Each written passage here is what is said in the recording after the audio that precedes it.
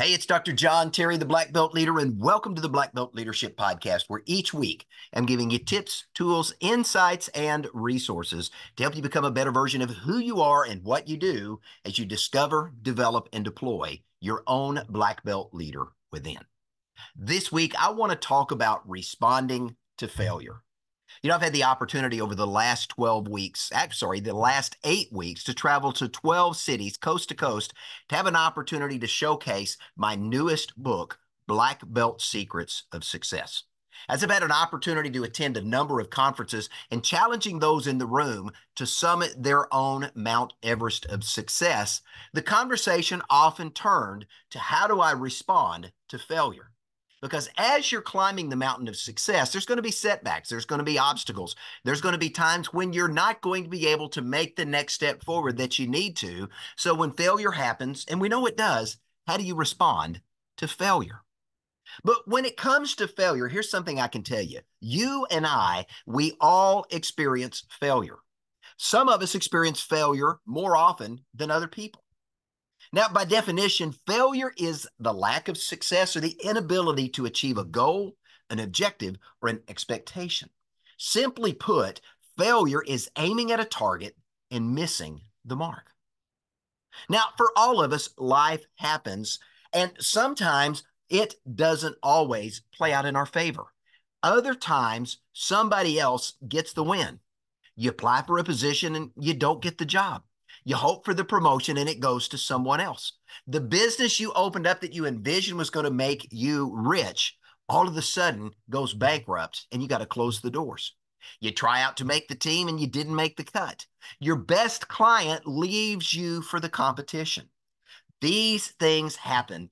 And as a result of that, what I would say is welcome to life. Life has a number of twists and turns and potholes and detours and roadblocks that sometimes pop up and obscure our way as we're moving forward. Essentially, sometimes you win, sometimes you fail. Sometimes you win, sometimes you don't. But guess what? Even though you may have failed today, last week, last month, or maybe you failed a series of times, you're not the only one who's ever experienced failure. If you take a deep dive back through history, here's what you're going to find. Even some of the most successful people throughout recorded history have all experienced more than their fair share of failure. You know, I talk often about Thomas Edison, one of my heroes, and Thomas Edison, by some accounts, failed 10,000 times before he succeeded in creating the incandescent light bulb. Henry Ford's first two automobile companies failed miserably before he refined the Model T and founded the company that today bears his name. Michael Jordan, the NBA great, was cut from his high school varsity team his sophomore year, but went on to rebound and become one of the greatest players ever to play the game of basketball. Steven Jobs was fired from the company Apple that he founded. He went on to found Next and Pixar and ultimately was wooed back to Apple 12 years later to revisit his position as the CEO. John Grisham, New York Times best-selling author, when he authored his first book, A Time to Kill, 28 publishers said no. Steven Spielberg, the amazing producer, was denied the opportunity to go to film school on three separate occasions. You know, at times we all get knocked to our knees, and sometimes we end up being laid out on the canvas in the fight for success in life. At some point, it happens to all of us. But the question we all have to answer is whether or not we're going to get up or we're simply just going to stay there on our knee or laid out on our back and let the referee count us out.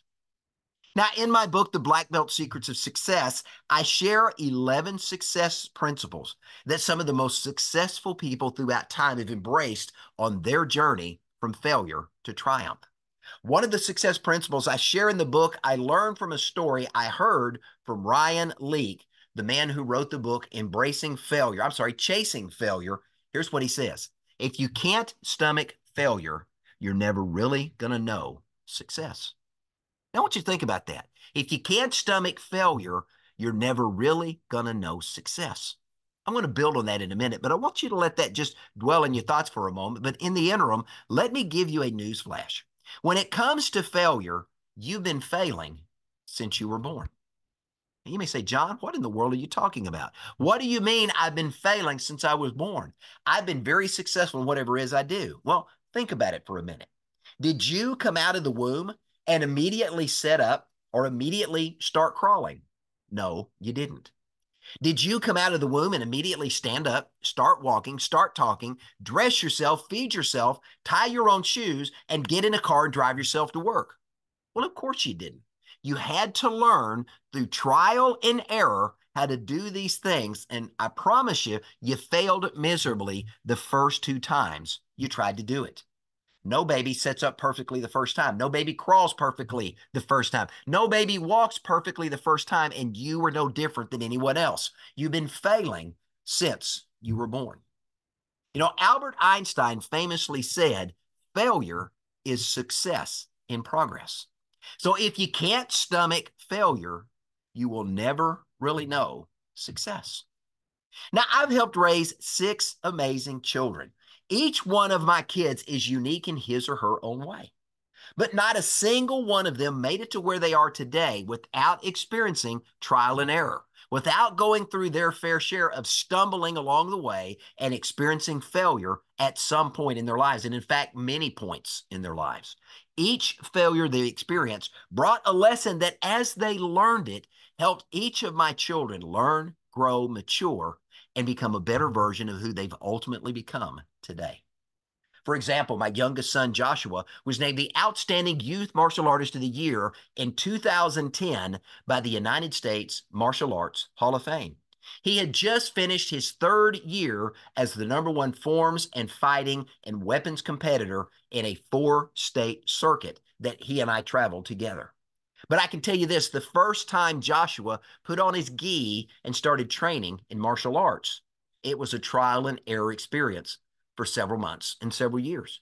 He had to learn the basics. He had to learn stances. He had to learn punches. He had to learn blocks and kicks and how to put all of those things together. And through trial and error and constant correction by his instructors, he began to hone his skill. Now, what's interesting is it was through failure, it was through learning what didn't work that Joshua discovered and ultimately honed what did work and made him a very successful competitor when he walked onto the floor to compete. I will say that his instructors were relentless.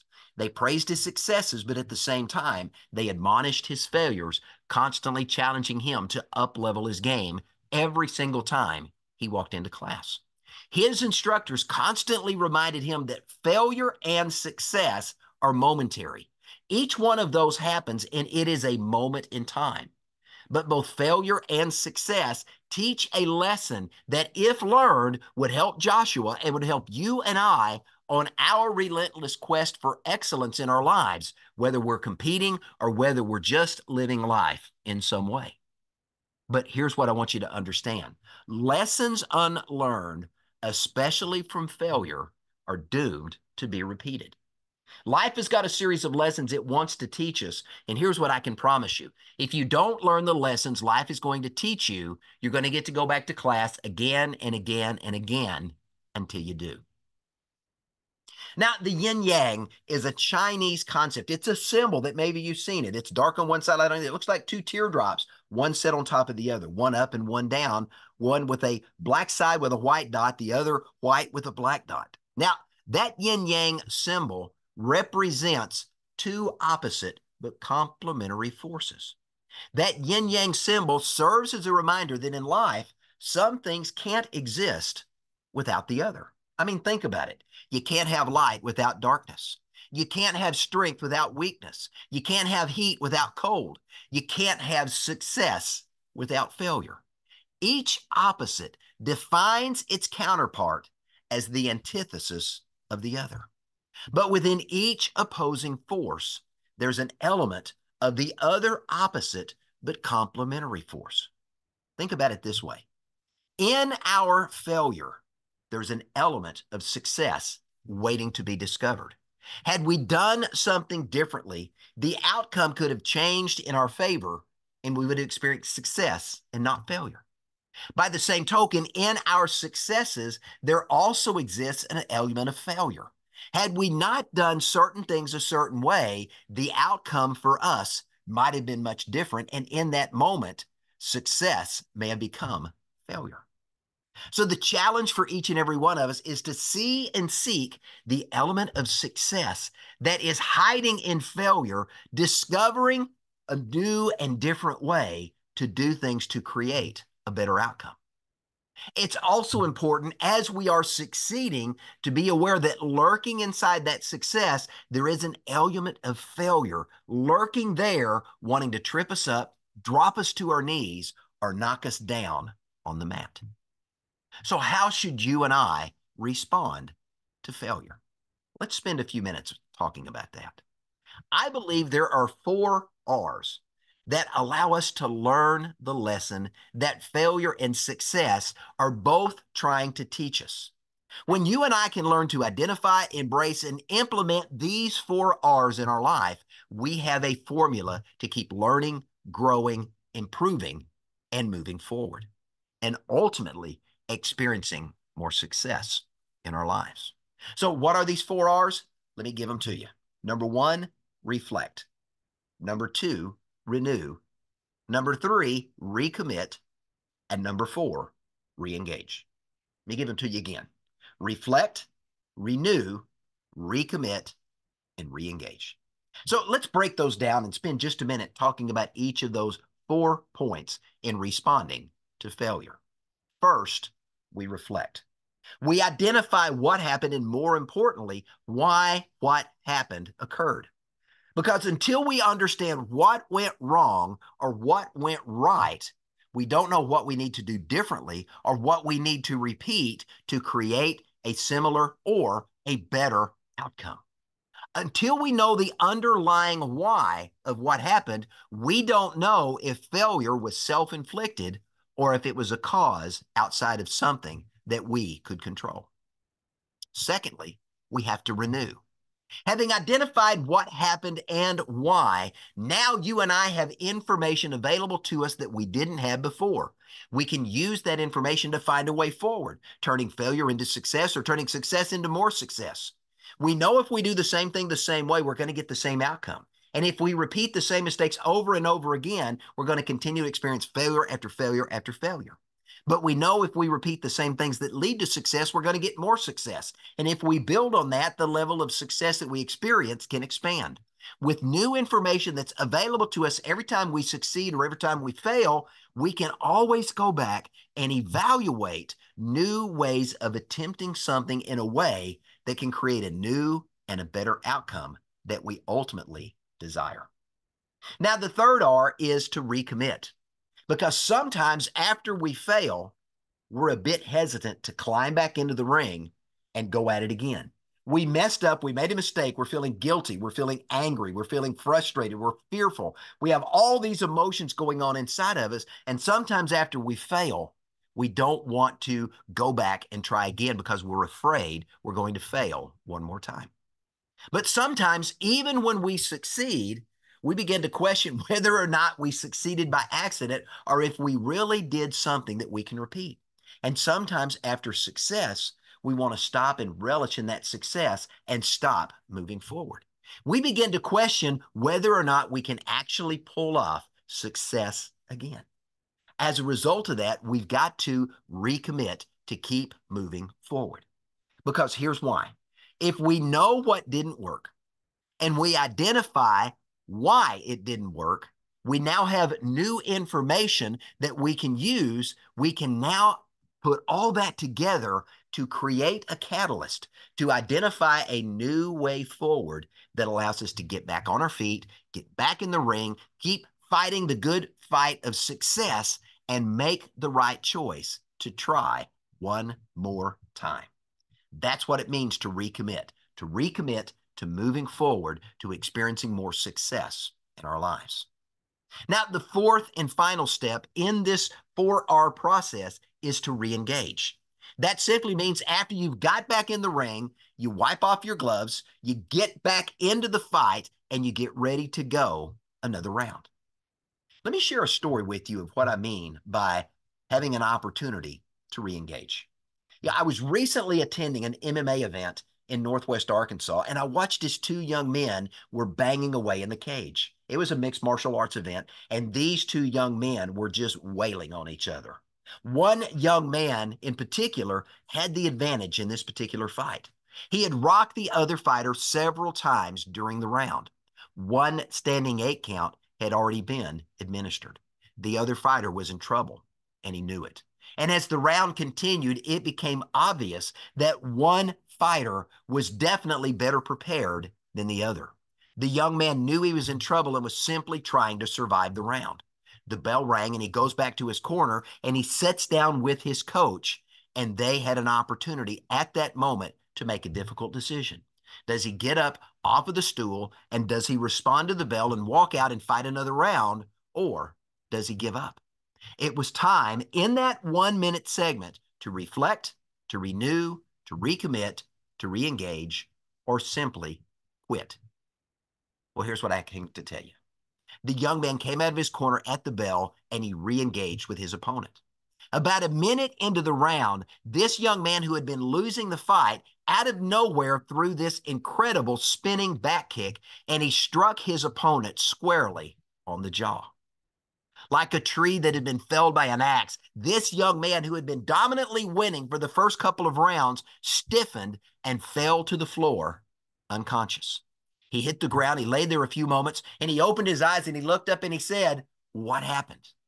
The referee had already waved off the bout, and this young man who had been losing this bout for two rounds had now had his hands raised in victory. That is an example of what can happen when you have the opportunity to go through the four R's to reflect, to renew, to recommit, and most importantly, to re engage. So let me bring this one home as we wrap up today's lesson. If you want to be successful in life, you're going to experience some failure along the way. Just accept that. Remember, Einstein said it well failure is success in progress. Each day, you're going to learn some things that work, improve in those areas. Each day, you're going to experience some failure. Learn the lesson failure's trying to teach you, apply it to your life, and move forward. But understand this both failure and success are a moment in time. Let me explain what I mean. If I go out and run a 100 yard dash today and I'm the first one to cross the finish line, I'm successful. I won the race. But tomorrow, if I want to be successful, I can't look back at what I did yesterday and say, I was successful yesterday. If I want to be successful today, what do I have to do? I have to show up. I have to get in the blocks, wait for the starter to fire the gun, and I have to run another 100 yard dash and be the first one to cross the finish line. Now, the same token is true if I run the race yesterday, but I didn't finish first. Guess what? I didn't win today. I wasn't successful, but that doesn't mean I can't go out tomorrow and run the race again and have another opportunity to compete for the prize. All too often, we allow failure, which is a moment in time, to define us when we simply stop moving forward and we give up trying. Failure only defines you when you quit. Failure only defines you when you get rocked, you take a knee, or you end up being knocked out on the canvas and you choose not to get up before the referee finishes his 10 count. Failure only defines you when you get knocked to the canvas and you choose to lay there and let the ref wave his hands and the fight is over because you chose not to re engage. So let me leave it with this. With each failure and with each success, respond using the four R's. Reflect on what happened and why. Renew and find a way forward. Recommit to make the right choice re engage by getting back in the game. The only way to win, to be successful in life, is to compete in the game of life. And the only way to keep winning, the only way to continue to be more successful is to keep competing in the game of life at an ever higher level of competition. Remember, failure only defines you when you quit. Otherwise, failure is a moment in time and you can respond to failure by moving forward. Og Mandino, in his classic work, The Greatest Salesman in the World, records a number of scrolls that made an individual the greatest salesman in the world. One of those scrolls says this I will persist until I succeed. Successful people understand that. And successful people respond to failure by persisting until they succeed. They practice the four R's. They reflect, they renew, they recommit, and they re engage because they don't want to mindlessly repeat the same failed strategies and tactics that aren't moving them forward. Remember, successful people do daily what unsuccessful people do sometimes or not at all. Successful people understand this failure is success in progress.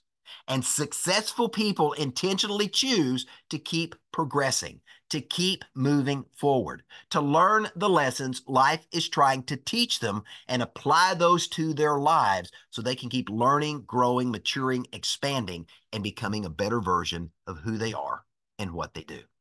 Remember the four R's reflect, renew, recommit, and re engage. Let me leave you with this thought success awaits so keep persisting until you succeed. I'm Dr. John Terry, the Black Belt Leader. Thanks for joining me. Have a great day.